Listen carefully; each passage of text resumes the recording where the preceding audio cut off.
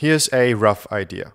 You can turn any regular envelope into a looping envelope using this little circuit. Just patch it in between output and input and your envelope will re-trigger continuously. To make that happen, we configure this op-amp as a Schmitt trigger inverter.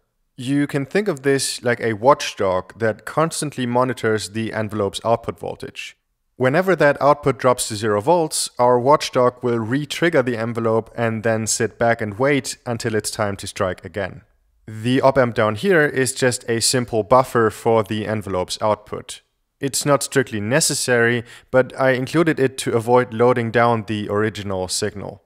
To build this, we just need a handful of components. A chip with at least two op-amps, 300k resistors, and three jack sockets. Mm, that's it.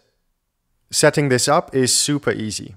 Plug in the chip, configure one op-amp as our buffer and the other as a Schmitt trigger inverter, connect the three jack sockets, and we're done.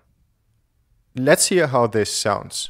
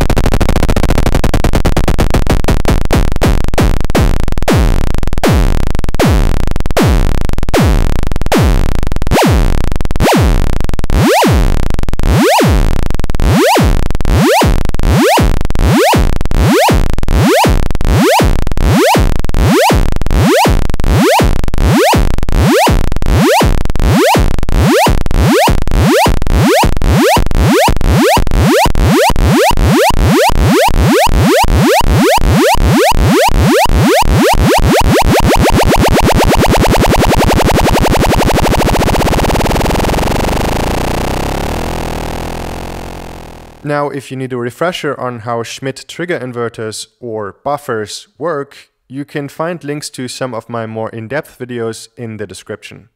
Anyways, thanks for watching and happy looping!